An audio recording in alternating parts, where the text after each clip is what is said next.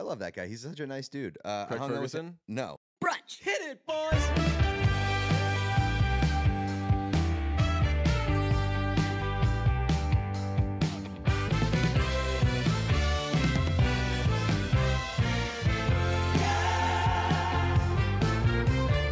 Is summer over? Yeah, it's springtime, baby. Ugh, worst season. Uh, I woke up to a text on Saturday. I want to say. I've been getting on you about bring that bit back. Yeah, the the bit that I don't know when season starts and when they end. But it's always spring's fault. It is always spring's fault. Anytime the weather sucks, it's spring's fault. That's uh that's gonna be my new bit. It's like anytime there's like the shit like a shitty day of weather, fucking spring. When that all happened, that's what I was explaining. To, I don't think you saw it in the moment. I was like, "This is what you're doing every time you're if if you don't like uh, the weather that day, you're like, this is why spring sucks because sometimes this day happens during spring. Ugh. And you guys like spring? Well, I mean, I, I still stand by the fact that spring sucks. It's it's more overall disgusting than any other season. Uh, allergies wise, definitely. But, But like when the snow thaws and like everything is wet and muddy and like it's a little all the all like the the trees aren't fully back yet. It's like a it's like a deformed season. it's a little like AMC bathroomy. Just, just, wet like, on the ground. Little bit of You don't know if it's piss or if it's just water. Nobody's washing their hands yet. Everything's wet. There's just water absolutely everywhere. Um, I think I said recently, July is my 12 of 12 month, but I don't know if summer is necessarily the worst season. I've been This- I, I just I mean I know that you don't like like the the real hot and you have No, I reverse actually do- seas- seasonal de- depression. so I do like uh, when it's very hot. Like if there's like a if it's like 90 and up, I'm like, yo, it's gonna be so easy to break a sweat rollerblading today. I'm gonna get out there for two seconds, then I'm all done. Yeah, as a guy who likes rollerblading and sailing, summer should be your favorite season. Yeah, sit man. I was on my sail bullshit this year. You saw the fruits of my labor. Uh, I rocked my sailing hat. I can't remember if I explained this on the podcast, but I've told the story to a million people, so I assume I've said it on the podcast. Where my friend's hat is faded, and he said it's because he just wore it one summer while sailing. So from then on, I was like, okay, I'm wearing the same hat every time we go sailing. And it was down to a Navy Chargers hat or, and I knew it wasn't going to be that because it was going to be this next one, a fucking Texas hat. Yeah. Fading burnt orange. Yeah. Oh my God. Yeah, I mean, I, I, I, I do think that nave fav, faded navy is still a good look, and like with especially with the Chargers, Yeah. because was it the old school logo? They were it the new one? It's all over. Uh, this was uh, an old. This was like when the when the logo was the a helmet. helmet. Yes. So that would have looked good too, because it would have looked like just an old hat. Yeah. hmm Um, and you know, I'm not like a big dad hat guy, but dad like faded dad hats. If you're gonna be a dad hat guy, like don't be a new dad hat guy. Be a like I've had this hat forever and it's seen some shit. That's a good look. I've really from like the early days of this podcast. I never was, but I'm just pretty firmly entrenched in like having to do dad hats. I don't know if it's the shape of my head or what. I tossed on a hat like that the other day. Watch on Spotify or YouTube, That's right. and with my short hair or my rhinoceros nose or whatever it is, I was like, this just doesn't look as good. But if, if my hair is long and I, I, if my hair is long, I can't wear a dad hat. That looks wimpy. It's like when you're wearing a small belt. It just looks like you uh, have small other stuff. Uh, but long hair with a like, nice structured hat, very nice touch. Yeah, I, I don't know. I haven't yet decided what kind of hat person I am. I'm just like an every hat person. I that's give, great. I give every hat a run. Tom Brady answer. That's right. The next my, one. Yeah, my favorite hat is the next one. Although, like, I- I wish that I did have a specific hat because I would be able to cut down my hat. Consolidate, baby. Yeah, I would be cutting down my hat uh, collection by quite a bit, and I don't wear like 80% of the hats that I own. That's, I mean, like 95% of the hats I own. I know that a lot of guys have a lot of hats, and some men or women, anybody, will hear this and be like, please, amateurs. But I think that you and I have to have the, excluding like collectors, you and I have the most hats of any two friends in the world. I think that's probably true. Yeah. Like there would be some uh, if the, again like if there's like you want to tell me like Steve Dangle like collects, he's got some hat collector energy to him. yeah. Then sure, maybe him and one of his boys. But I think that as I think he likes toys more than hats. you know what I like, What? Steve Dangle. Yeah. What? I You've watch done a his- 180 on that guy. I didn't. I never didn't like him. Ah. I was just like, that you liked isn't for make me. Fun, you liked making fun No, of him. yeah, I was like, this guy rocks. I don't. It's not for me, but this guy rocks. Yeah. But it's becoming. It, it just is more and more for me. Every now and then, he tweets his video of when he left Sportsnet, and I watch it every time in full. Oh yeah, yeah. With his YouTube video, yeah. It's like what it's like the uh, Craig Ferguson. I'm not making fun of Britney Spears video. Just True. every now and then, I need to pull it up. I don't know why this one speaks to me the same way that that did. I love that guy. He's such a nice dude. Uh, Craig Ferguson. No, Steve Dangle. You don't think Craig Ferguson's a nice dude? I'm sure he's not making a, fun of I'm Britney sure, Spears I'm sure he's a great guy. Uh, I hung out with Steve in, in died. Nashville, and he got slapped the hardest I've ever seen somebody get slapped. That was him who got slapped. It was like a gunshot. Wow. It was crazy. I would. I'd posit a gunshot is more like a, like if he got. It'd be different if he got shot with a gun. It probably would be, but it's probably not as uh, as drastic a drop off as you would think. I was there. I heard that slap. It was fucking loud. How could she slap? That's right. it sounds dangerous, uh, and we're gonna be getting dangerous this weekend. Boston folks or New England folks, or I'll just say it, North American folks. Yeah, you can travel for this.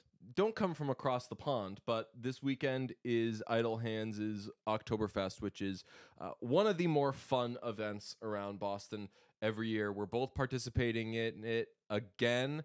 Uh, Pete will be in the dunk tank. I am out of the dunk tank. And Congratulations. th- what do You've- you mean? You've been only been trying since you tore your ACL. Not true. I've always been more than happy to do the dunk tank. Sure.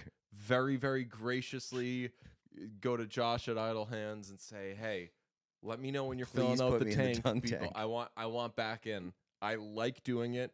It is a lovely, super fun event. This, uh, we're gonna get Josh on the horn in a second. Josh Deering from Idle Hands because he a just has given us a lifetime pass to do anything we want to do over there, which is great. But also, truly, this event rocks, and I know that it's a little like radio-y of us to be like, we're gonna get somebody on and talk about the event. See, oh, hey, where can they get tickets and everything? But truly, this is just like a big hang, and we want uh, people to come. And Pete's gonna be in the tank. That's true. And uh, Idle Hands, to speak to DJ and Josh, just letting us do whatever the hell we want.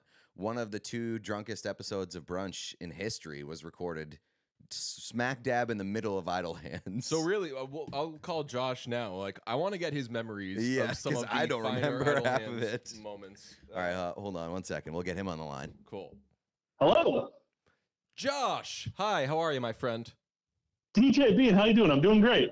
Uh, I'm excellent. Pete is here Hi, Josh. as Pete. always. Yes. Uh, you pumped for Saturday, my friend? Oh man, yeah. It's going to be the biggest and best event of the year. Been planning for this event for a long time, and thrilled that it's actually here and about to happen. Is there a rivalry with breweries and Oktoberfests? Because once I go to yours, I don't go to an. It's like a fantasy football league. It's the only one I do every year, and I go to yours, and then the next couple weeks, people are like, "Hey, so and so is having their Oktoberfest," and I'm like, "I'm pooped."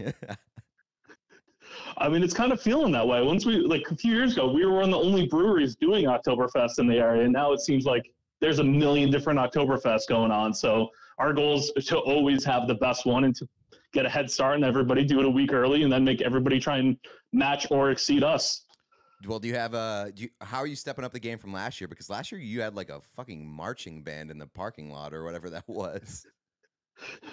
Unfortunately, we don't have that band this year, but what we do have is a polka band Oh, that is absolutely going to tear it apart, and they're going to be on from 1.30 to 5.30. Before that, we have an classically trained opera singer who's been learning German drinking songs, who's going to do like an hour of these beautiful German drinking songs. And of course, we have the headliner of the night, which I think you're familiar with, uh, one DJ Bean. Oh my! It's very funny that you just said what the other music is going to be because I have some like truly, I have some fucking bullshit planned. like some real, like the most, like th- this might be the most DJ shit posty thing in the world, and it has it has taken everything for me to not tell Pete what I'm doing. I haven't told anybody uh, what I'm doing. It's taken so much work. I hope I'm. I, it's not even close to ready, and Oh, we are like mere hours away from this event. I would be shitting my pants if I were in your position because like those two uh, people preceding you or bands preceding you sound incredible. and they're like right for this Yes. event. Uh, they, I've played at Idle Hands multiple times, and another reason we wanted to have you on, Josh, is like quickly to give a little uh, bio on you. Josh was the producer for the Adam Jones Show on 98.5, the Sports Hub, uh, before going full time to Idle Hands, and I always thought it was cool anyway that uh, Jones knew a cool brewery person, and then we became buds. uh, I thought it was cool that Jones knew a cool person. Um, and then we became buds, and really, you've got this kind of. Uh, correct me if I'm wrong. I've been taking it this way and possibly abusing it. Open door policy with like the people that you fuck with, whether it's us, whether it's uh, the Mac and Goo podcast, who we fucking love. It's like, what do you have planned, or what do you not have planned? What do you want to do? We have space. Execute it here. Like your people will like us, and everybody has a good time. Yeah, I mean that's the goal. I mean, I honestly believe you guys are massively talented, and the people I find massively talented, I want to have at the brewery as many times as possible, and to get weird, get wild, and get people talking. And that's what you guys do, and that's DJ. That's what you do anytime you come and perform there. Is your show is always entertaining, and people always talk about it. So I am absolutely thrilled to see what you have planned. I can't even imagine what it could be. I just know people are gonna love it. Okay, well, let's talk about. We haven't talked about this on the actual podcast. Pete, you've referenced it a couple of times this episode. We did it for a bonus uh, content thing. oh, that wasn't even we a full episode. Discussed. Uh, yeah, we were like, how do we get the Patreon buzzing? DJ got a crazy injury. Find out what it was on Patreon only. Uh, I don't think that you, for some reason, were like totally in the Idle Hands family yet, or maybe you were out of town or something. I was out of town at a friend's wedding. Oh, right. Yes. So you, oh my God, Josh. So neither Pete nor Josh were here for this. The first time I did the dunk tank. And all right, the, the long and short of it is they have a dunk tank every year, which is like a big fucking event. And it's a big thing to get asked to do it. Uh, You pay a little bit of money to Yep. get some throws, and it goes to charity, right? yeah, there's such Yes. a good video. That would have been so awkward if it wasn't for charity, and you, you, you were like, "No, we pocket that." No, it goes right to me directly. Yeah. yeah. There's such a good video of last year, me calling my shot against you, dunking you, but and then doing the weirdest running. But I did I've like a seen. windmill thing, and my shirt came up, and I looked so f- stupid and fat. It's the worst video. I was I saw somebody saying the video. I was like, oh, I bet that will rock, and it looks uh, terrible. Uh, anyway, My big memory is that uh, nobody got dunked for like 45 minutes before I got in the tank, and then suddenly it was a cold tank. Somebody, no, like, like uh, suddenly everybody's accuracy turned up to 99. Well, that's what I'm of saying. I'm not saying the water was cold. I'm saying like it was just uh, the the it's like the slot machine. Oh yeah, yeah. So you're like, what the was this busted? Is this thing regulation? and then Everybody's yeah, saving themselves for me. You did get crushed. There is, and I'll tell this story in a second, but there is anxiety when you're in the tank of what if nobody wants to dunk me? What if nobody wants to throw against me? And once you break past the like, even like the three to five minute mark, you're like, okay, this wasn't embarrassing. Uh, here's the the infamous dunk tank story though. I, Josh wasn't there. Pete wasn't there. It was my first time doing the dunk tank. I had some big what if nobody wants to dunk me phobia. Jones goes before me. Uh, and he's like heckling the crowd. He's like, hey, Patriots stink. I like other football teams. and he's in there for like five to ten minutes, which that's like a that's a decent figure. And I'm drinking because I'm nervous and also because I'm at this fun event. And uh, by the time I get in there, I'm like pretty buzzed. And I forget who it was at Idle Hands, but they kept replenishing me. And they kept, I'm like drinking IPAs at a time while sitting in the tank. And I don't say this to brag, this is just how life worked out. I broke the fucking length in a dunk tank record by like 20 minutes at least. I was in there for probably like a half hour. One of the times I fell in as I'm climbing back into the seat, my foot slips, I fall back into the water, and I get the craziest non contact injury in the world. And as I pull myself back up, I start yelling very drunkenly, tore my ACL, tore my ACL. Everyone's like, fucking DJ, this guy sucks. This guy no, you attention. didn't. Right, exactly. They're like, oh, stupid fucking DJ. Let's keep dunking him or like drown him. Hope he fucking dies. And every time I would fall back in, I had to like use my upper body to get myself back up. And every time I'd sit back down and be like, tore my ACL.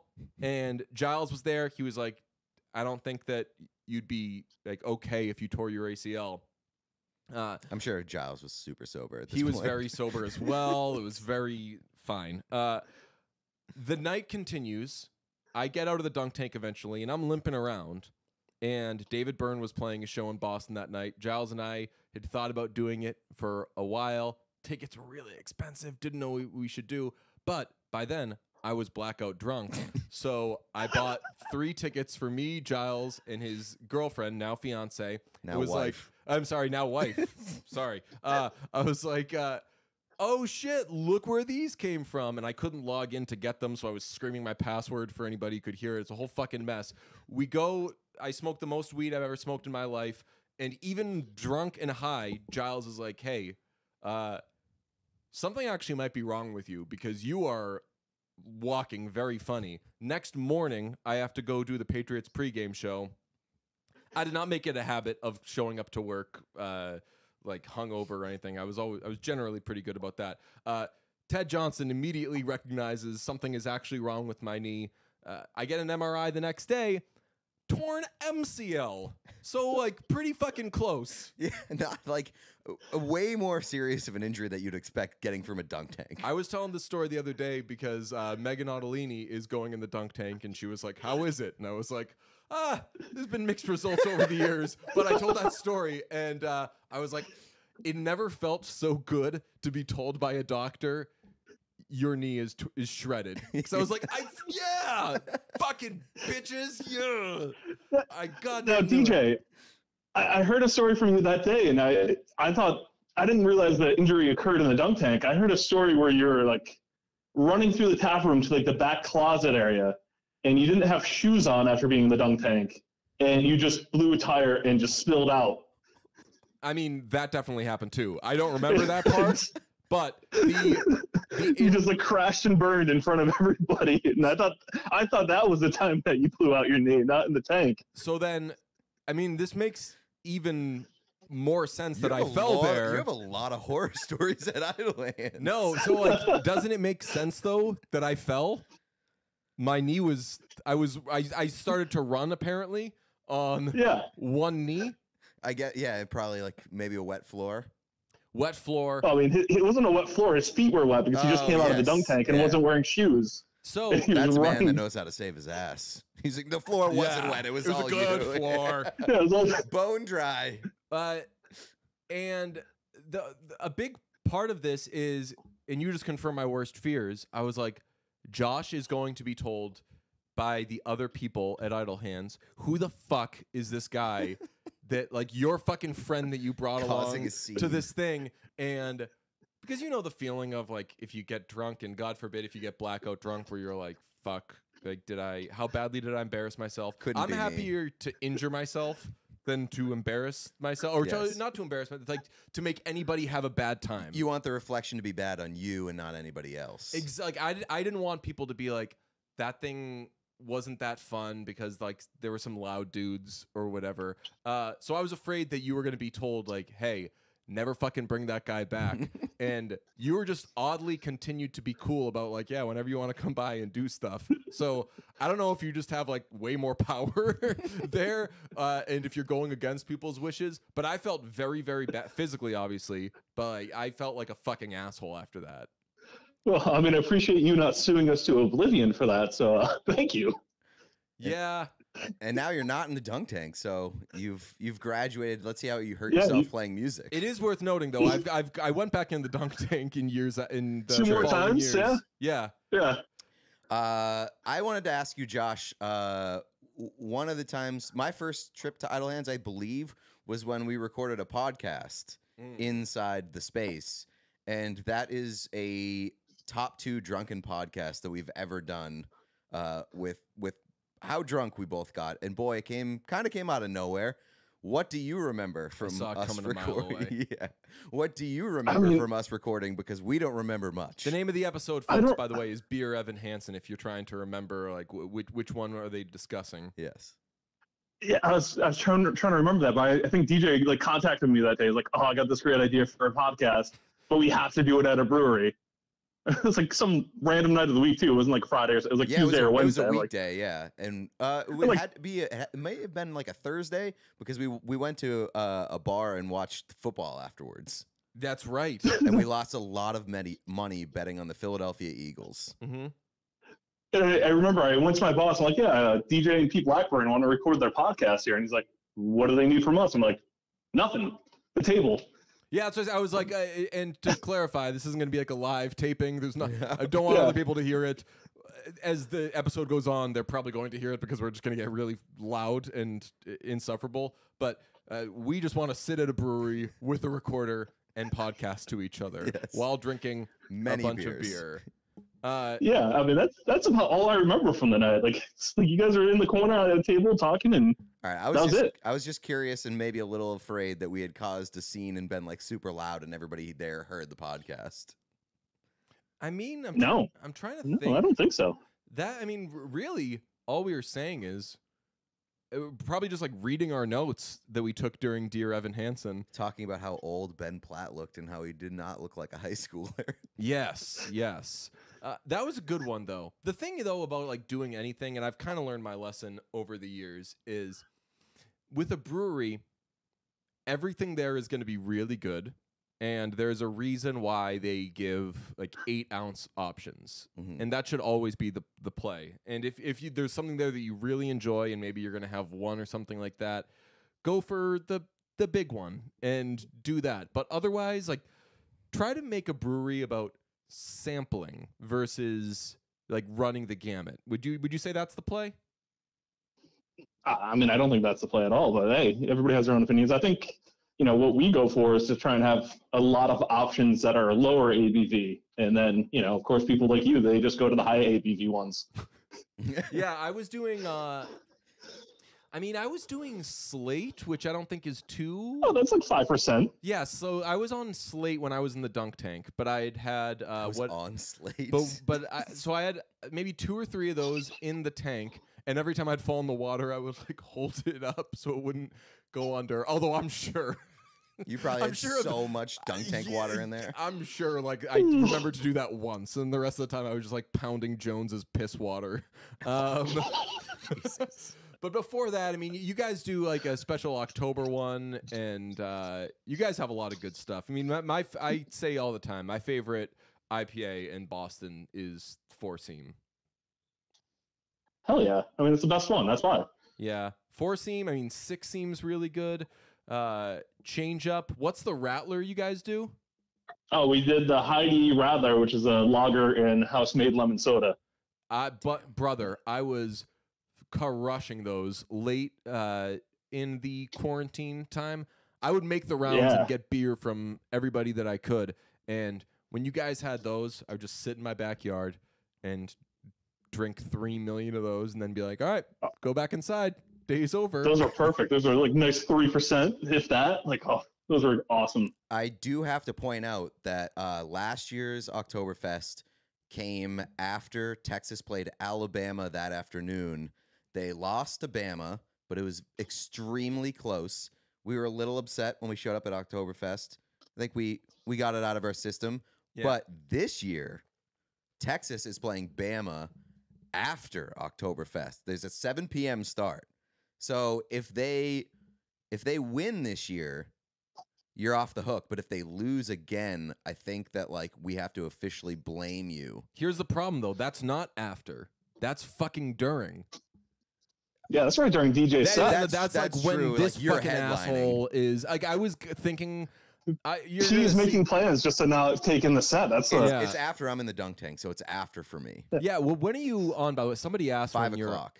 Oh, you're on at five. Yeah. Okay. Yeah, uh, I was thinking about like rigging some sort of Texas watching situation near the stage, but I'm I'm gonna have I'm gonna have like a bunch of toys up there. Oh boy. Like I'm gonna s- I- I'm gonna look maybe a little bit more like a DJ than I usually am. And I'm, so I'm like, do I throw like so a not your name, like a, a disc jockey. right? Do I throw like a an iPad up there that uh, just has Texas on there? That'd be very fun. and like the, some guy like with his girlfriend's like, hey, see what that is? That's uh, he's using that to control the uh, using that to control like levels and stuff. and I'm just watching the Texas game. Only you would be the person in the crowd that would be like, "That's what he uses to control levels." And stuff. Well, stuff. that's just something that people do. They'd be like, hey, what do you think that screen's for? I think that's for, and you know, it, it always it, people will make it look like it's for other stuff. It's always lyrics. Yeah, it's oh, just yeah. always they don't I know how the assume song it's goes. lyrics. Yeah. Yeah, the, a, a lot of the monitors that you see on stage, especially for like big acts, a lot of them are like fake, and they're uh, they're like screens. So they'll just have like a big thing, it'll look like a wedge monitor, Mhm. but it's actually lyrics and uh, chords and stuff. Uh, are you after? So Jones is back in the dunk tank. Josh, he's a big time drive Yes. time host now. So now he can't plan vacations at the same time as uh, the Oktoberfest. He's got to go do some fucking like grassroots marketing stuff and go meet people and say hi. Listen to my program. yeah, both him and Mego are going to be there. It's like the two o'clock hour is dedicated to Jones and Mego in the tank. Ah, I like that. They've pissed off a lot of people in the past year too, so that there could be some serious money in in that tandem. Yeah, I hope so. That'd be awesome. The more people that want to dunk Jones, and he has a very dunkable personality. There's people For lining sure. up to want to throw shit at him. But you know what's he's so not to body shame. There's like not even a splash when he goes in the water. Such a little. He's like a leaf. he just it just he just sits on top. he floats. Yeah, he doesn't go in. I mean, that's Jones. actually part of the reason we book him because we don't have to use as much water when he's in the tank. We lose nothing. exactly. Uh, Kevin Lemanowicz too. That's gonna be cool. I don't think I've met uh, the L Dog. Yeah, I mean, he's he's been a big supporter of Idle Hands going back for years. And uh, one of the people that works at the brewery, I was asking, who do they want to see in the dunk tank? He's like, Kevin Lemanowicz. The That- top three Kevins that are famous. That rocks. Levan Reid, who is is the Boston sports legend, It'd be awesome to see him. Haven't seen him in a million years. Last time I saw him was uh, before a uh, Patriots parade. We were looking for the duck boats, and then we both got uh, our, our phones went off, and we were like, "The Bruins just fired Claude Julien." Oh yes. Oh my Yeah. god! And we laughed about what fucking assholes they were That's for hilarious. doing it. Then that's my uh, most recent Levan Reid experience. But that guy rocks. It's gonna be an awesome time. The- And the best thing about Levan Reid is when he's in the dunk tank, you're going to be able to hear him like a mile away say- with that voice. He has Oh, the most pipes. booming voice of all time. Just absolutely, it's a heavy voice. Do you think that he's gonna? People are going to be riding by on the T, wondering where the voice of God is coming from. I'm gonna be like, hey, Levan, here's the deal. I'm not gonna pay to dunk you. I'm gonna I'm gonna pay to dunk you, but I'm not gonna throw. I want, in exchange for me donating this money, the whole day, call Jones a bitch for having a bitchy voice. Make fun of his voice, because Jones otherwise has amazing pipes. Pete's got great pipes too. A lot of people there, good pipes. Levan smokes everybody. Oh yeah, by far.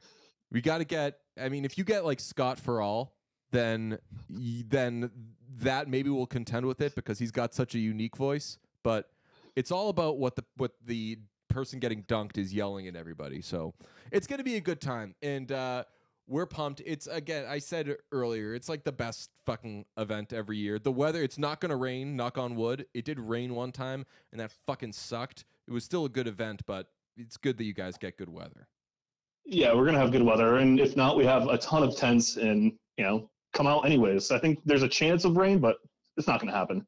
Kevin Lemanowicz will make sure it doesn't happen. That's right. That's right. Uh, I did invite. Uh, I invited uh, the weather guy from NBC 10, Tevin Wooten, and I was like, "Hey, it's gonna be a big party. Come on out." And he was like, "I Texas is playing Alabama. I'm not gonna go do some fucking listen to you play music. And I was like, God, that's kind of my answer too. Fuck. Tell him to come hang out while I'm in the dunk tank, and then we could go watch Texas Bama together. No, this guy. So this guy is. I knew that it was unlikely because he's such a big college football guy. I was like, I bet it is impossible to get this guy out of his apartment on Saturday.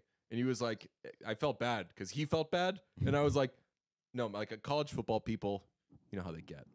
Yep. They got to have their pops. All right. Well, Josh, we look forward to seeing you on Saturday. It's going to rock. I'm so excited for this whole thing. So come by, dunk, Pete, listen to my nonsense, meet some people. Overall, it's just a great hang. So uh, hope everybody can make it. Yeah, thanks guys for having me on. I look forward to Saturday. It's going to be an awesome time. Yeah. Awesome. Thank you, brother. See you soon. Yeah, see you. Uh, he's the best. what a guy. Yeah. Uh, so that's Saturday. Pete is in at two. I'm on. I'm in at five. Oh, I'm sorry. Jones is two. Pete's five. I'm on somewhere post six. They think they said six thirty, but uh, it's gonna be a uh, it's gonna be a memorable uh, affair, whether or not my performance is anything. Just just dunk Pete. Um, I have a thought that uh, crossed my mind in uh, the past couple of days. Do you have any favorite um, like traffic situations? Like the way that traffic flows, or just like any sort of. I know that your favorite car activity is. I was going gonna say, like, we know what the answer is. That's true. Uh, outside of that, do you have any favorite traffic situation? uh, I mean, I say beep beep, Yep. and I say what are we doing? I say vroom when we get to start to go. Yep.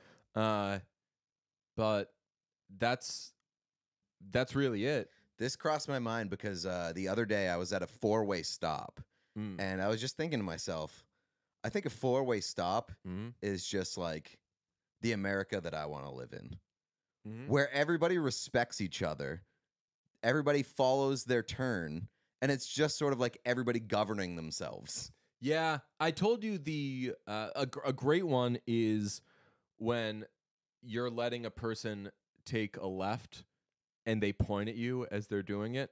That's Yeah. such a good feeling. That is such a good feeling. It's like you made that person's day. I got so somebody made my day the other day. I'm gonna I'm I'm I'm about to go sailing and I'm trying to park on the street because it's a Sunday. Normally I park for like $25 or whatever, but I'm like let's try to grab some street parking.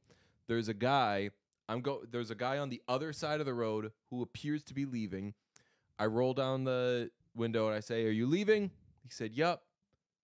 So I put on my blinker and I'm like kind of waiting for him to go. And he said just said very nicely, "Come back around. I'm waiting for you. I'm I'm, I'm waiting for you." And I was like, "Are you serious?" Wait, what? He said, so I was going to like cross a lane to go in and then kind of be an asshole to make sure I got the space. Yeah. And he said basically he said the reason I'm still sitting here is because I want you to go turn where you can turn and I'm holding this space for you. Wow. And I said, You are the best. That is unbelievable. And then like as he left, he like made sure that he like looked back at me and gave me like a nice little wave. That is truly unbelievable because I feel like most people who are like asked, like, "Hey, are you leaving?" They get like all Like, like "Get pissy. off my ab- dick." Yeah, they get pissy about it. They're like, "Yeah, fuck off." yeah. Yeah, and like they'll like find a way to give it to anybody else except you. That's unbelievable. I was floored. It was so nice of him. It was a just a little. Uh, it was a random act of kindness. That's right. I mean, just do the small stuff, baby. Yeah, uh, I do. I have been saying schmohawk in the car a lot, Okay. which is obviously from In uh, what context? Move It Schmohawk, What's that from? Curb Your Enthusiasm. Okay. So Larry David says his dad used to call people schmohawks, and then every now and then if he's in the car, he'll be like, "Move it, schmohawk." uh, I won't say necessarily "move it, schmohawk." I'll just be like, "Oh, "Fucking schmohawks." And if like the drivers are really bad, I'll be like, "It's some fucking schmohawks out here." Should call the Blackhawks that from now on. The schmohawks yeah. should.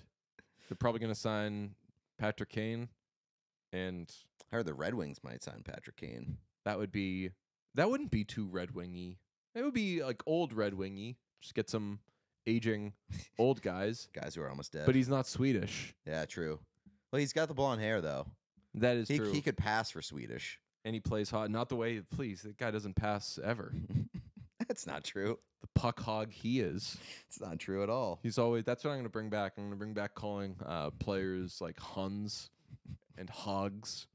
Pass the ball. Anybody who just scores a lot is a puck hog. Yeah, Lamar Jackson takes off. Pass the ball. I had my first fantasy uh, dynasty draft. That we kicked off a dynasty league uh, this year, and I'm like not a fantasy football guy, so like I ha- usually have no interest in doing anything like that. Like, not, I- don't like committing to anything. Never mind a fucking fantasy league until I die. Um, but I- I feel like I've been saying this a lot recently. Like, it's like with golf too. It's like any a- reason to hang out with my contact with friends. people, yeah. Uh, that was so I did, I signed up for that because one of my good friends asked me, and I was like, "Listen, if I say no to this now because I'm like, oh fuck fantasy football, I'm probably gonna regret it for like the next eight years." As all my friends talk about this when they're around me, and I have to be left out. So I signed up. Uh, the draft took like four and a half hours. It was brutal, but I am very excited about like running a team. I have never even considered doing a dynasty thing because I just it's very pessimistic. But I'm like, we're not gonna do this fucking forever. My friends will. We, I, I, I, I'm. Just, it's weird. I, so You've I've been, in a fantasy I've been in a league. keeper league for uh at least like 10 12 years now that we all take as seriously today as we did the day that we started it but for some reason when someone's like i'm starting a dynasty league i'm like if you didn't start it like 20 years ago just what's the That's fucking true. point? It's a weird, eh, but I, but I feel like if I, if my friends had started it like 10, 15 years ago, I probably would have been kicked out of the league by now. Because like at, at some point in my life, I would have just been like, nah, fuck this. I don't care about this this year. Now I feel like I'm at the point where I'm going to care about it every year because I'm just gonna like want to keep up those relationships. I was given the option to leave a basketball league. It was like the it like wasn't a firing and it wasn't a quitting. It was like uh a hey, uh just so you know, this life offers a lot of things and uh are you happy in this league? Are you which like now this kind of hits a little close to home, but it's like They were uh, asking you to leave. well, it was just like you're not enjoying. Like we know what DJ is when DJ is DJ. You're not bringing that to this league. Is it because you don't like the league? Is it just because you don't have time for it? Either way, you don't have to be doing it, and uh, it's totally okay if you leave. And I was like, I leave. That sounds so correct on both accounts. Yeah, yeah. I was like, yeah, yeah, I'm not into it. Yeah, you can tell I'm not into it, which sucks because like my friends are in it and I love basketball, but just for some reason, I just like wasn't. I can't really do any connecting fantasy with it. sport except for football. It's just it just doesn't daily work for me. thing Doesn't work. Um, s- let me ask you this: By the way, football season's around the corner. That's Uh, right. Sign up for. DraftKings. Uh, n- let me ask you this: If a, I mean, this is probably putting the the cart before the horse, since we haven't even started this dynasty league. But if a spot opens up, somebody quits, would you be interested? The only thing that sucks is that you'd have to inherit their team. Uh, I would not. I Okay. I turned down. I turn down fantasy leagues regularly. Yeah, same. I've only done. I'm, I'm. This is the only league I do. So I do. Uh, I'm in a fucked up league, Mm-hmm. which is the best league. Yep, the the kicker one. That's year to year. My fucked up kicker league. Uh, that this year I said that that was going to be the only fantasy league that I did because I don't really care about anything else other than that league. But then the dynasty thing came up, so now I'm in two leagues. Probably going to be in two leagues forever. But like the dynasty league doesn't feel like upkeep because I'm going to have the same team basically. I don't. Th- I apologize if the worst part about getting old is you don't fucking remember if you've told a story before. And I remember when I was a kid, I would sit like at Fenway and listen to, especially like drunk people tell the same story a hundred times and be like, Yeah. "Dad, what's wrong with these idiots? Mm-hmm. They like that story's not even that good, and they tell it all the time." So I apologize if I told this. All I cared about in my league was getting Bijan Robinson. And I know I've told you this, so I'll Yep. just tell an abridged I don't think version. you've told it on all told it on the podcast. Okay, so there's a guy in our league, fucking Jordan. Uh, this league was started by a group of good friends, and uh, one of the good friends and his twin brother were in the league, and uh, they brought some friends to the league, uh, or they brought one friend to the league that uh, none of us knew, but whatever. If you, any friend of of Drew is a friend of ours. Uh, Drew and his brother. I love Drew, just not friends with him anymore. Uh, Drew and his brother over a disagreement on whether uh, trading a rookie named Nuk Hopkins and getting this is a keeper league and getting Dez Bryant back was a fair trade. Uh, they thought, hey, this is an this there's some collusion here. Who the fuck even is this Nuk Hopkins guy? And all of us were like, this is a fair trade. The guy that got Hopkins is going to be awesome in the coming years. Anyway, it just became this huge disagreement. These two brothers left the league and we don't talk to them anymore. And their friend Jordan, who they brought into the league, remained in the league. He was like, I think it's a fair trade. It, it's it is exactly when uh, Leon's family leaves Larry, Yes. and Larry says to Leon, "So what does this mean?" And Leon says, "This means I'm about to go in my room and eat this fucking Chinese food." like Jordan is still in the league. We don't know Jordan, haven't met Jordan, and our relationship with Jordan is that he is a fucking asshole and we hate him and he hates us and we're so mean to each other It's a real standoff you got here. and like if I make a trade offer to him, he'll say something like, "Oh, save your breath." Blah blah blah. uh, and, uh, wow. then I'll text my friends and be like, "I I fucking hate. Jordan. Yeah. "He was so fucking mean to me," and they'll be like, "Well, fuck, gi- give it back," and I'll be okay. Like, hey, Jordan, fuck you, and he'll send back like a kissy face emoji, like, "Ugh, like suck my. It's, so I this love is, this. So this is our relationship with Jordan. Uh, He's a real. He's like a squatter. And yeah, uh, by the way, like once or twice it has come up like, do we kick Jordan out of the league?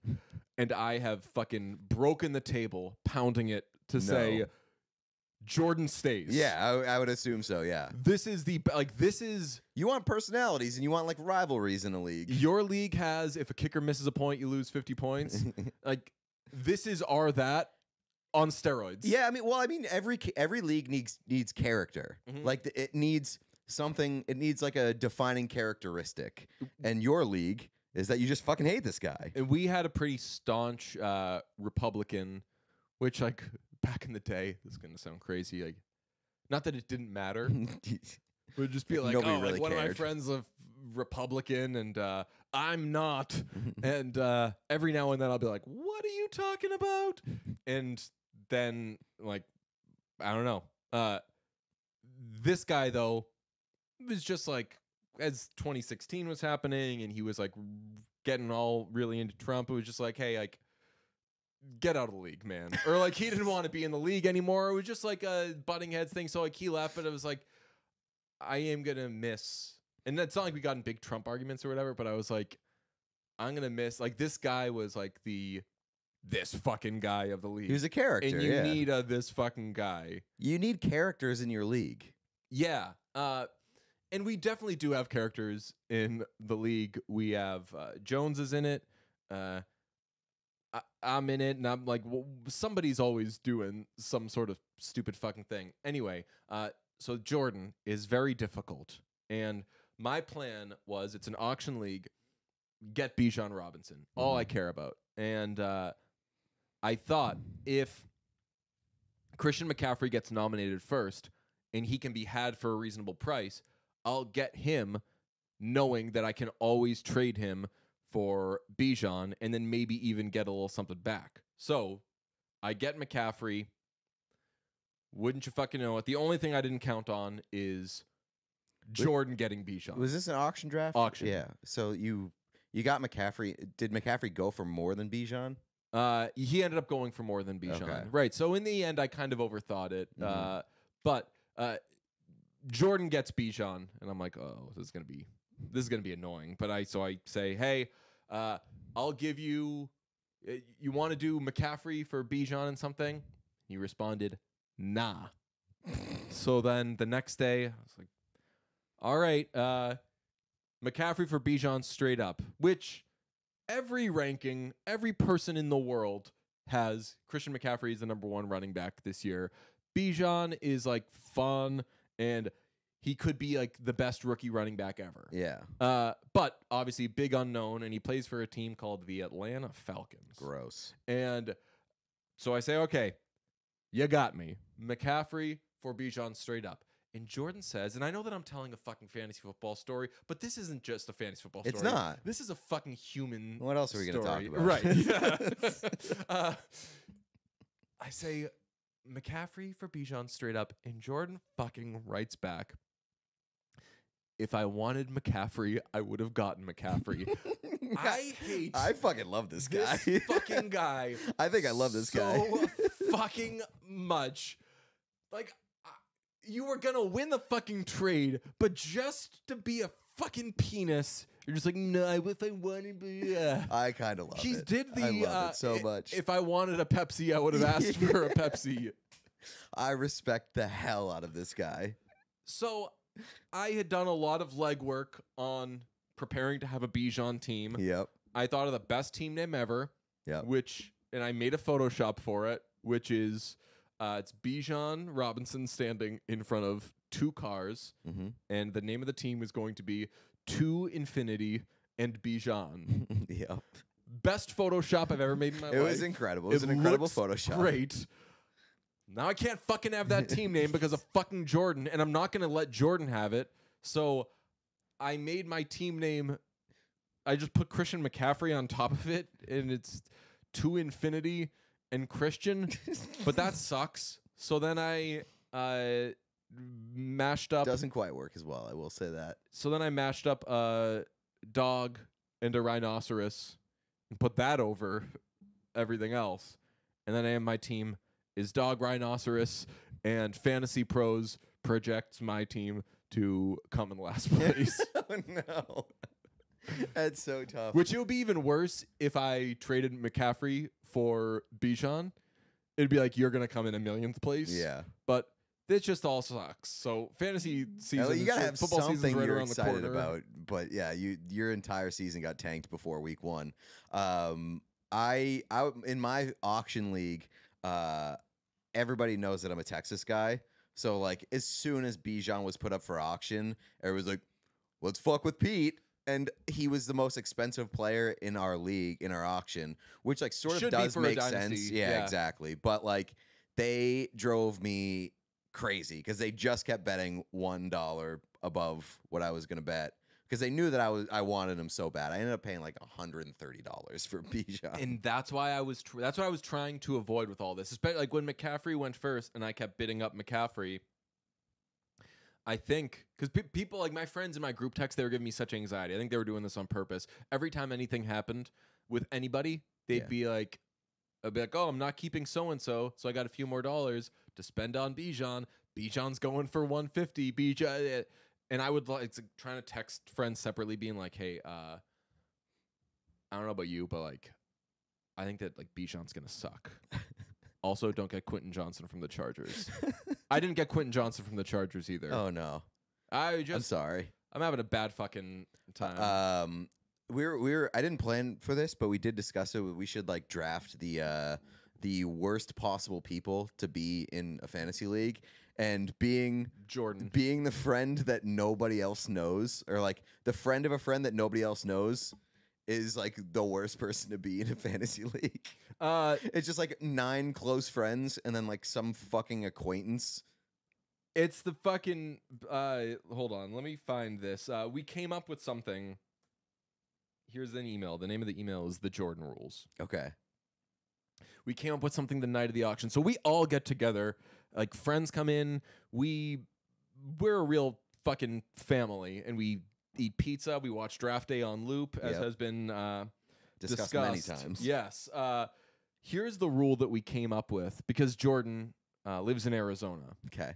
so this he's just got nothing. So to he's do not with even us. at the draft when you guys are all at the draft. No, we've never met him. That's We've never crazy. met him. I don't know what he sounds like. Um, I, I won't lie. I pulled up his LinkedIn a couple of times. Uh, all right. Here's the Jordan rule that we came up with. Okay. The last place finisher by record, tiebreaker being points, is responsible for flying Jordan to Boston for next year's auction. They are also responsible for putting him up, whether by getting him accommodations or hosting him. In the event that Jordan finishes last, Jordan is responsible for bringing a member of the league of his choosing to wherever he is for the draft. Flights and accommodations will apply as they would in the aforementioned scenario. Jordan is not allowed to decline a potential trip. If Jordan comes in last place and does not follow the rules, he will be banished from the league. Thank you for your attention to this closed matter. I mean, I love that, but I I think the thing that I love the most is that uh, if Jordan comes in last, two people have to get punished. That's the scenario both we all Jordan, want. both Jordan and some poor bastard and Jones. We think that we, we are discussing who we think he would send out. Jones. It would be Jones or it would be me. Okay. And I think Why? Because you guys are the two meanest to him. not the. I mean, I don't think You have the most fun with it. we're just we're the we're loud members of the league, Mhm. and uh like, yeah, I could see him being like, you know what, if I'm going down, I'm taking everybody. But it would be funny, like you know, my friend Scott. Yeah. Scott really n- has never done anything to anybody. It would be kind of funny if Scott just had to fucking go to Siberia with Jordan and sit. Siberia. Like I- I've never been to Arizona. I have. It's a good time. Uh, depends have I what- been to Arizona? No, I've never. Depends what time or what where he lives in Arizona. Yeah, well, you know what they say about the weather there. It's hot. It's a dry If you heat. don't like it, it's a dry heat. Just if you don't like it, just like wait a few hours. That's that is what they say there. About Arizona, That's it's, right. Uh, it's crazy. Uh, did you see Bottoms? I did not because uh tough to find. The I two didn't movies- see. Uh, what's it called? That's not hard to find. You just have to pay twenty dollars for it. I, I couldn't bring myself to do it, which is stupid because I I drop that bag all the time. Yeah, and uh, I so I, I dropped twenty dollars to watch Past Lives. I bought it from like digital on demand or whatever, and I'm so glad that I did it because I'm gonna watch that movie like sixteen times. Do you own it? I own that movie, so if you want to watch that movie, you could just come over and watch the movie. Maybe I'll do that. We've I never could also done just that. buy it. Hey, I don't think we've ever like bought a movie and just like been like, hey, if you want to come over and watch it. we have done for We've some done it in a reason. hotel. There's been like a hey, like I, I'm gonna finish watching this movie at your yeah, place yeah, or yeah. something. That's just like before. Like I didn't get a chance to finish it before we were recording the podcast about this thing. yeah. So I'll just watch the rest of it here.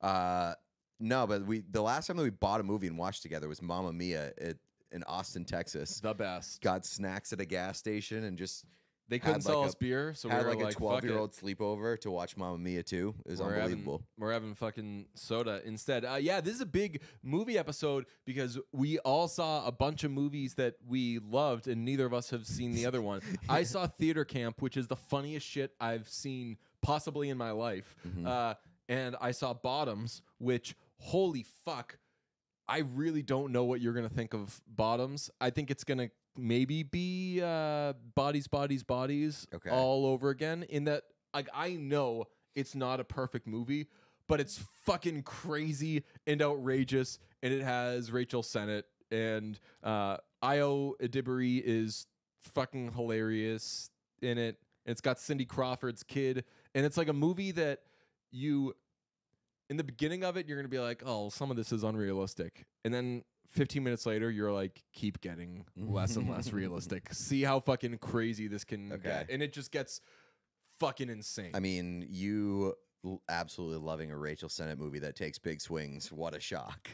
yeah and so s- uh, there are scenes in this movie where you're like they could have done another take of that like it's not like uh, Sennett is putting on some acting masterclass she's just fucking so funny Okay, that it's uh, I, this th- just seems like a good time. I saw Gooch from uh, Lights Camera podcast said that it's got some super bad qualities, and it for sure does. Like those two are very much. Any high school movie that has like two people, whether it's two guys or two girls, is always going to be like it's kind of super bad. Same Yeah. thing happened with Booksmart. Yeah, right. But Sennett is very much the Jonah Hill character where you're like, Okay. This character is funny, uh, but I would love to meet this character and be like, You're a fucking asshole to everybody. Quit looking at like look out for anybody other than yourself. But yeah, I can't wait for you to see it. And Okay. man, theater camp was so so fucking funny. Even though I had rotten kids in my theater, I did see it at. uh You've ever been to Somerville Theater? Uh, yes, I actually saw uh, the canceled uh, Dave, Ch- uh, not Dave Chappelle, uh, Louis C.K. at the Somerville Theater, Uh or was that the Arlington Theater? No, so y- y- this is uh there's a theater in Davis that uh is you're not gonna know the street names, right? No. Uh so there's one that's like there's a movie theater that's like right next to the T, and then there's a theater, like an actual theater for performances and stuff Okay. that is near the restaurants. I think Oh, that yeah, you yeah. saw it at the latter. What's the name of the place in Davis? I think one is called Davis Theater. I and one- swear it was called the Somerville Theater. let me see. Davis But you're right, it was like a theater theater, like a performance theater. Uh, Somerville.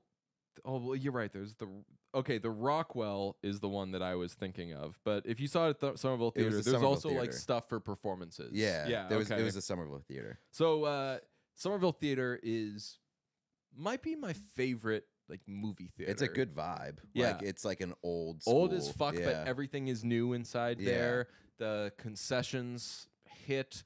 They, get still- some they got like they got a marquee outside, a big old marquee. when I was younger, it was a big deal that I could walk to the movies, get a beer, and watch a movie. I thought like I thought Mm-hmm. Yeah, that right. it was like this massive fucking life hack. And now, uh, by the way, I went to I saw Bottoms at uh, the theater that had the uh, James Ransone guy, Yeah. and he wasn't not there. He was there Oh hell yeah! His fine ass. Get a just, drink? I didn't, but there was a there was one guy at the bar, and I was like, love to be that guy. yeah, right. Because he was like, they were talking, and I was like, this guy ain't done preparing for this role. yeah, I'm looking forward to seeing uh, Past Lives. Uh, I'm very much I- looking forward to you seeing Bottoms and Theater Camp. Yeah, I'm excited to see those. Uh, Past Lives is like is it's A24. hmm It's for sure going to end up on my best of the year lists, like pretty close to the top. Uh, it's so good, and it's like doesn't do anything that is outrageous. It's just a story about like two people who like had a crush on each other, kind of like had some time apart, and like it's just sort of like this like love story, but in a way that is like so realistic and raw and like human. It's incredible. It's a movie I think I would guarantee that you are going to fucking love this movie because every character is like a real raw character. Yeah, I think that I have it planned for Monday morning. Okay. I think that I'm going to start my week that way. Start your week with love. prepare to talk prepare to think about it for the rest of your week because it, it was like one of those movies that like I just kept thinking about for like four days. Fucking It- love that. It looks amazing. The performances are unbelievable. Uh, like the writing again is amazing. All the characters are just like real people. It's a five out of five across the board for me. It's so fucking good. There's no way to say this without it sounding condescending, but I fucking love when you love a movie. Yeah. Like, I mean, when, like yeah. you like have when because I I know like when you really like something when you're like that was really good or whatever. Uh, but like certain movies, I mean, obviously there are movies that you'll hound me about because you're like, this is really fucking good. See it. Obviously, Wind River. Finally watched it with my parents, and we were all like, "Yo, did DJ fucking call it or what?" Like high five my parents, like good recommendation, DJ. Uh, but like I remember when you first saw uh, Juliet naked. Yeah. I was, and that was like a, I don't know if I, I think that now, if I saw Juliet naked, I would know with confidence like you're gonna fucking love this. Yeah. maybe because I know that you love that movie. But like, I, I think that at the time I was like, I don't know if it'll quite be your speed, but like, check it out. And you were like, that's the most important thing I've ever seen in my life. yeah, the movie rocks. I I put that somebody uh somebody was asking me for like my favorite like easy watches and like Mm. rom coms of the past ten years or whatever it was, and I put Juliet Naked very near the top. Like it's not like a crazy stupid love level for me, but Juliet Naked is either like a B plus A minus tier rom com. I love the that. That's such a good space Yes. for movies too. Yeah. Another one that I would put there, and this one doesn't get enough credit, is uh, Sleeping with Other People Oh with yeah, Jason Sudeikis and Allison. Brie. That's yeah. a great movie. Yeah, I like that one. Um, yeah, I would. Uh, I if if I could own like ten movies, I used to own a lot of movies digitally, and they all went away. and I was on the phone with Xfinity. I can say this now, uh, but I was like on the, the phone with them. And by the way, I have had a couple of experiences with cable that I never really. Maybe I did have these experiences, but I never thought like, oh, fucking cable company, blah blah. And whenever people would complain about that stuff, I'd be like, grow up. Not everything works all the time. yeah, right. But now that I'm like really paying for it, like I used to have a that's true. pretty yeah. sweet discount. You now can that let I'm it really slide. paying for it, I'm like actually noticing when it doesn't work. I'm like, this is appalling. Yeah, but for how much they charge for you, it should work all the time and work the best. Yeah. It's insane. Uh, I'm also starting to realize now that I think like my favorite favorite movies, the movies that you're talking about, like the ones that I get really really excited about, are just movies where like it's like a rom com, but like the two leads have like in- incredible chemistry Mm. and they it's just like super sweet to watch. Like I texted you probably like 35 minutes into past lives and I was like this movie is incredibly sweet. I love the. I know that some people would do the like uh, tweeting during a movie, texting during a movie, this sort of thing. Uh, one of my favorite moments in brunch history was uh, it was a Saturday morning. I was, I think like the weather was nice. Uh, at the recommendation of Steve Conroy from the Boston Herald, he'd been on me for months about this movie. I finally fired up Sing Street, Oh. and ten minutes into it, Oh yes. I texted you, Feidelberg, and Jeff and was like, boys, I think Sing Street's going to be a really good one. Just started it.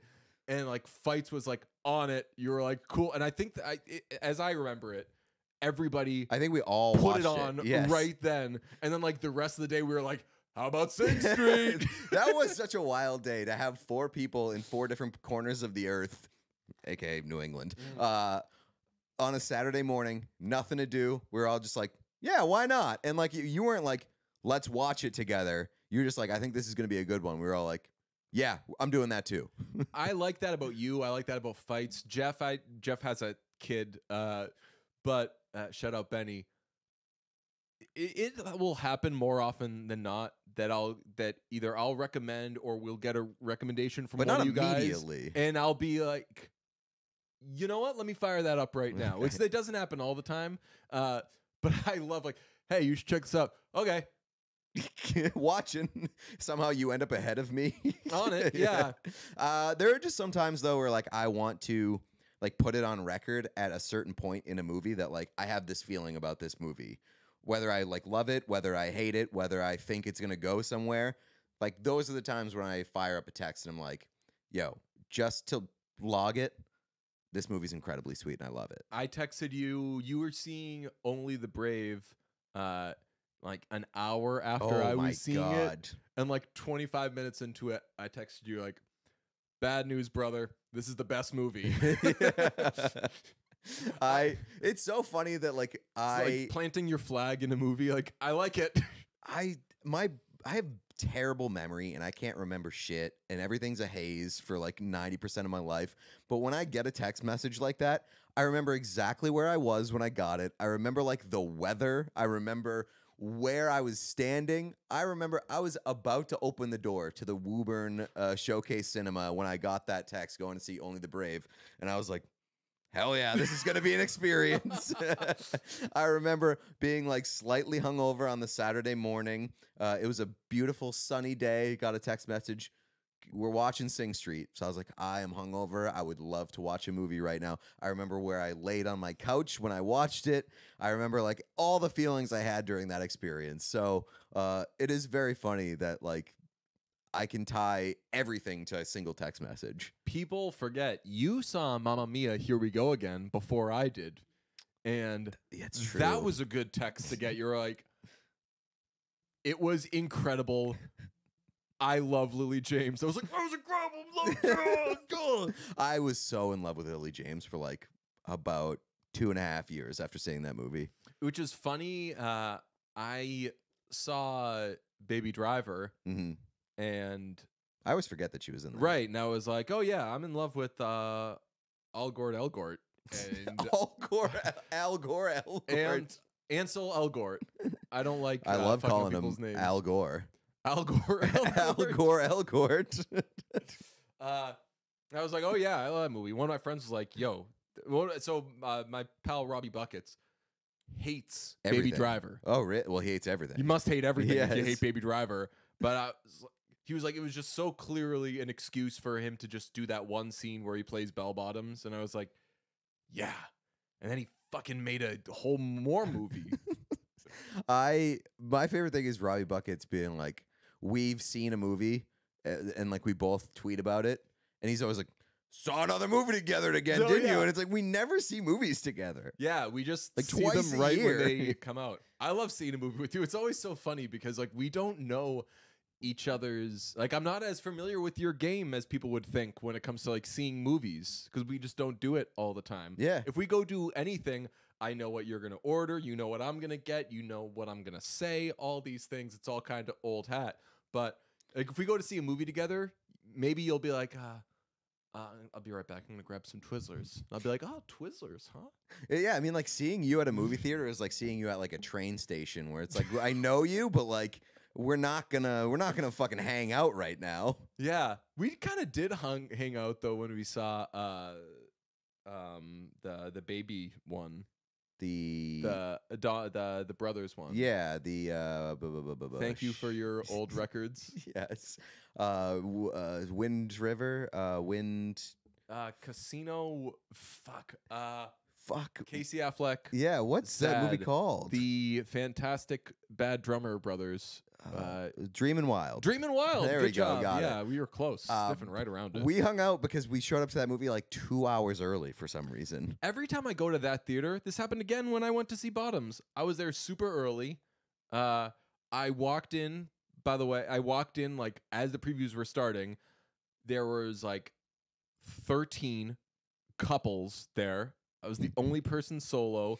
There was one couple that was fucking doing a blanket together, Oh, okay. and it just like What are you didn't doing suck. under there? You know, the, no, they they were fine. It was just like Okay. like very they were very uh just cozy, but they weren't like fucking under there. and I was like, this is nice.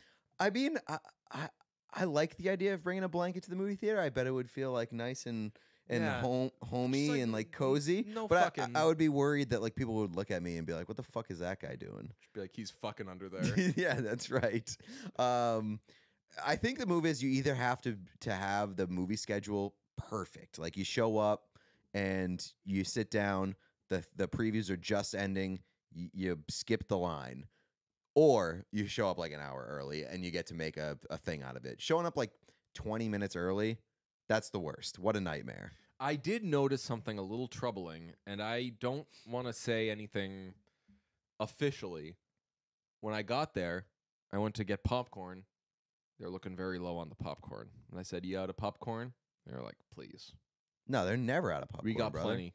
They go, they get another huge bag of it and pour it in. And I realized they're not making the popcorn there. Really? I don't think so. At least tell me if I'm wrong. Maybe they're making it in the back or something, but it's housed in this is like a little trickery. The, like the fourteen gallon bag things. Right, but it but it's it you know, it's situated in the thing with like the little clear plastic door and everything Yeah.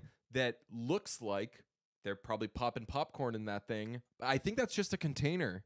No, I, I mean I've like a seen them, shell. I've seen them making it at the Burlington AMC, our Oh, home okay. theater. Like I've seen it spilling out of the top Ah, and filling the the okay, good. receptacle. Because I remember like being like, "Yo, that is the fastest popping popcorn of all time." It was gonna crush my dreams if that were the thing. Because like a lot of times, if you go uh, to a show and a piano player has like a big piano up there, that's really just like a shell, and Okay. they'll have like a Nord or a Yamaha thing that's in there that they can move around or whatever. I was afraid of that, so I'm glad to hear that. Nah, so what I've they- witnessed. So they pop it and do they supplement with these like backup bags? Maybe. I mean, there could be a, a situation where like that theater doesn't do it with their machine or whatever, Mm. or maybe it was not working for the time being. They needed repairs, so they just like imported a bunch of fucking popcorn.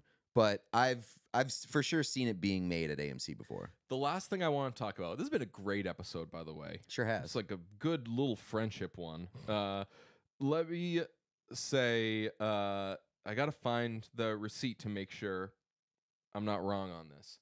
Uh, the Eras Tour movie is coming out, mm-hmm. and that's going to be a exciting thing for people who want to go to it. We've talked about like maybe do we go? we try to find a time where it wouldn't be too crazy? I asked Jim Murray. Uh, Jim Murray's big thing is he discusses how much money it would take for him to do certain things, to go to certain events, uh, and his answer on the Eras Tour movie was basically exactly mine, which is n- don't have a problem with the content. It would be the crowd that would be tough there. Uh, We should go to see the Eras Tour movie with Jim Murray and then podcast about it. That'd be so fucking funny. oh my god! But here's the thing: we don't have this in the brunch account right now.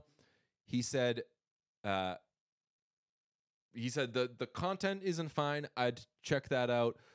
It's the crowd I'd worry about. That said, nice theater, plush seats, snacks, even five grand gets me there. Oh come Which on. normally he's asking for like like high like if the if there's like a band he really doesn't like. I'm so glad that we don't have money because I would be like, yo, do we give him five grand to do this with us? Yeah. Um so anyway, that's coming to theaters and uh Stop Making Sense, the 1984 concert film from uh, the Talking Heads, which is the best concert film ever for my money. I put it ahead of. I know that what's it called is more of a doc, The Last Waltz, but like number one for me. Stop Making Sense. It's fucking incredible. A24 is putting it in theaters, and they've swooped it up, and they've done all this cool new stuff to it. And then after it's to uh, the Stop Making Sense, Okay, Talking okay. Heads one, okay. and after there's they're doing a lot after they show it they're doing a live q&a from the toronto film festival with the talking heads and if you know anything about the talking heads it's that there's david byrne and then three people who are like we don't like that guy. Uh, but they're all getting together and they're going to do a q&a and it's this big thing and a24 is involved. So uh, friend gave me a heads up like hey tickets are on sale for that and uh, it's probably going to sell out so you should grab a ticket. A few weeks ago i bought a ticket. It's this coming monday. How much do you think the ticket is for to watch this movie? The Talking Heads, yeah uh, eighty dollars. it did they did not let me and this is amc Yeah, did not let me use yeah. You can't use your uh, A list thing for stuff like that. right Yeah, $30 thirty dollars. Oh, that's actually that's not as bad as I thought it was gonna be. i think that's kind of crazy It's like a it's a live thing. So like they're they're only doing one showing of true it. yeah So they gotta make their money. I, it's an event. I checked the taylor swift one yeah. $25 Really? That doesn't make much sense to me because like it's a run, right? Like it's not like a one-time thing. It's going to be in theaters for what? Like a week? uh, i don't know how long it's going to be in there but It's it's it's definitely not like one live showing. Yo, I'm I'm glad Swifties. I'm glad you're happy to give her the money, but man, She has so she much fucking money. crushes you guys. She has so much money. she money. smokes you guys with the fucking Taylor's version shit. Yeah, you guys are getting taken for a ride Taylor with Swift- those physical copies, my fam. Taylor Swift, I, I did buy the 1989 physical copy. I'm a I'm a sucker. Wait, the the physical copy of the, the real one? what? Uh, like, no, you have like the Max's version. Yeah, but I bought I bought the Taylor's version. Just like I pre-ordered it because I it was like a special edition one that she put on sale for like 24 hours. So I just fucking went for it. It's gonna suck. Dude. I know, and I'm still gonna want it. I'm still gonna want it. How can you? So I've I've gone through uh, some uh, Taylor Swift stuff recently, and some of like the the fearless stuff sounds good. Like I prefer the the the Taylor's version of Mean, Yeah. but anything that she did with like Max Martin or anything, the Taylor's version sounds six million fucking times worse. I know, but 1989 is like one of my favorite albums in recent memory. And like, even if it's a bad version of that, I think I'm just gonna want it as like a keepsake. oh my god, so I, I'm so against that. I understand that I'm being I'm being took. Like Yeah. I I totally understand that, and, and again, I'm okay with it. I'll explain the uh, the reason these Taylor's version things are being made is because uh, somebody else owns her music. She didn't buy it. She wanted to. It didn't happen. Um, so now somebody else owns it. So she's re-recording it. So if you stream it or if it gets used in a TV show, a la The Bear, she can sell them that version and she gets paid for it. Cool.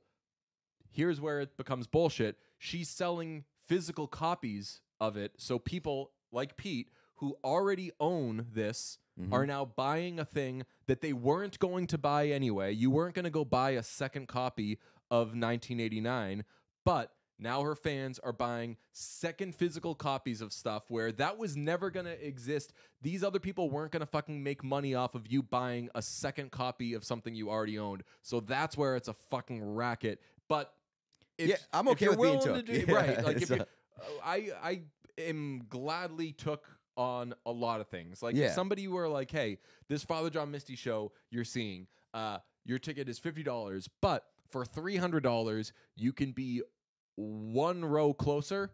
I'd be like, "Oh, daddy." yeah, it's like if it's something that's important to you, and you've got the money, and it's not gonna like I put you under, Yeah. go for it.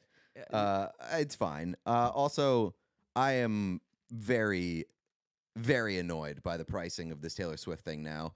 Uh, I'm telling you, it's a- it's a good talker. base prices start at 1989 for adults and 1313 for children as a birth year and her luck as a reflection of her birth year and lucky number 13 like doing cute shit like that doesn't count as cute when you're just doing it to make more money I, as you said that, I kid you not, I've never had this sensation before. I like saw the bullet from a sniper coming in and just fucking taking me out. you know how many just you know how ending many like, my fucking life. families are gonna get that. fucked by that because they have to bring like three kids and like an adult to that thing it's gonna be like a hundred dollars at the movie theater I went to see Paddington 2 with some kids uh, a couple weeks ago. So did you. Uh, you know how much it cost for the kids? Zero dollars. And I think it costs like $1 for the adults. Two dollars. And you know what's better than 1989 tour? Or I'm sorry, the Eras tour? Paddington 2 for Paddington like the 19th time. It's gonna be like a fucking crazy ass haircut scene in that. I guess like maybe this is a little bit more annoying to us than it is to like regular quote unquote regular normies or whatever is because we have a list and we could just use this but like I guess it's not that much more expensive uh than like a movie than seeing a movie but still that's that's fucked and it's it's set to run uh Thursday through Sunday so it's a whole weekend run I guarantee you it is going to go longer than that because they're going to make so much fucking money on opening weekend. they're going to extend it, and then people that I follow on Twitter We'll see it like a, for a third. no are going to be like, "How is she doing this? Oh yeah, doesn't she sleep?" And I'm like, She's- "She's not gonna be She's there." saving movie theaters. I, that I actually don't hate. I want to do it. So like, that's our next Cruise fake thing? reel. That's our next fake reel. Like, is Taylor Swift saving oh movie yes, theaters? we absolutely have to do that. Uh, what can be the Oppenheimer to uh, the Eras tour? Oh, I mean, the, the Stop Making Sense should go in against that. And it's just like a bunch of fucking cool bros going to see that. Uh, let me see. Yeah, I guess you could do that. Uh, that's that would be. Is it opening the same weekend? No, this is uh, Okay. Monday. You got to do something that's opening the same weekend. So what comes out? That we'll have to figure it out as we get closer to it. But like doing a Taylor Swift Oppenheimer situation, be like, oh, she fucking crushed it. She's saving movies. Yeah. Uh, we should do like she's saving movies and then just Photoshop her head over like Tom Cruise. Mm. I did think about getting you a ticket for Stop Making Sense because you haven't seen it, correct? No, But you have seen David Byrne, and you've been like, it's "What's a cult. going on there?" That's a cult. Yeah, Yeah. It's, it has the like the cultiest vibe of any musical performance I've ever seen. Well, you, so you saw uh, he did his American Utopia show, uh, in that looks very cultish because everybody's wearing the same thing Same and they're all wearing it's like a monochromatic. Everyone's wearing gray. Everyone's barefoot. and like like Everything is every every synchronized. everybody other than him is sweating profusely. That's right. We saw it at Lollapalooza, right? Or Austin, Austin City Limits. Austin we were City very Limits. distracted by like the one guy. He who was like the sweatiest person of all time, sweating through his his gray suit. Yeah, we're like, why, man? That's such a tough color. Yeah, they- poor bastard. It has to do this for David Byrne. Uh, yeah, I mean it's definitely culty. Uh, but I would say I was gonna get you a ticket to see Stop Making Sense. Uh, I've watched that a million times, usually uh, while on pot. I don't really do I do that. Uh, these days, but uh, Couldn't be me, gonna brother. say like, I well, I was thinking of bringing gummies to go see it, but pot in a movie theater. I wouldn't smoke it there, but I'm saying like being high in a movie theater sounds like it could feel bad. no, I've done it before. Yeah. Oh yeah, popped a couple gummies before a movie theater. It's, I mean, like if you're in, If if you're you- in like if- a closed if- place. yeah, if it's the right situation, it's chill. I mean, pot plus stop making sense feels uh, uh, amazing. Oh, I'll leave you all with this because uh, someone did this. That it's I've been recommending it forever. I don't know if they chose the pot option, but uh, smoke some pot. If you do that, take your whatever prescribed amount. Uh, put on a fun album. Just think about what the world would be like if Jack Antonoff was just doing that and didn't ruin Lorde. See you Saturday.